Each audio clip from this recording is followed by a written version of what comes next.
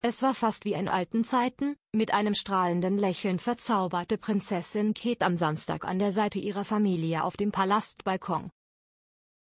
Jetzt verriet ein Palastinsider die überraschenden Hintergründe der royalen Rückkehr. Im weißen Kleid mit schwarzen Akzenten, Hut, Schleife und bezauberndem Lächeln zeigte sich Prinzessin Kate bei der jährlichen Trooping the Color Geburtstagsparade für König Charles III. In London. Ganz so, als hätte es ihre schockierende Krebsdiagnose nie gegeben.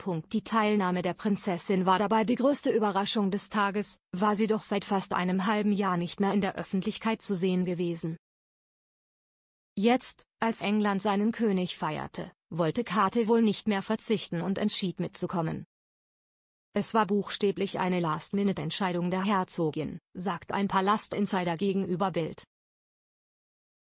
Und nicht nur das, die 42-Jährige soll diese Entscheidung am späten Donnerstagnachmittag ganz allein und vor allem ohne Druck des Palastes getroffen haben.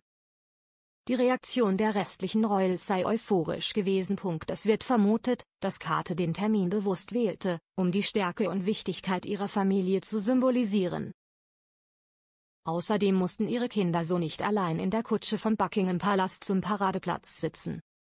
Prinzessin Kate, hinter dem Lächeln wirkt sie zerbrechlich so ein öffentliches Comeback ist natürlich bei all dem Lächeln und Winken nicht nur erfreulich, sondern auch anstrengend.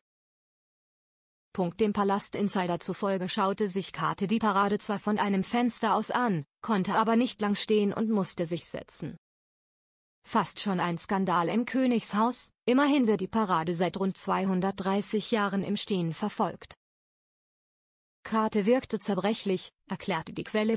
Nur für ihre Kinder sei sie immer vollumfänglich dagewesen, habe die sehr aufgeregte Charlotte mit einem sanften Streicheln durchs Haar beruhigt und den verspielten Louis ermahnt, die Gardinenschnur in Ruhe zu lassen. Derartige Gesten erinnern Palastmitarbeiter häufig an Prinzessin Diana, die bei förmlichen Anlässen auch stets das Wohl ihrer Kinder beachtete, bevor sie sich royalen Protokollen beugte.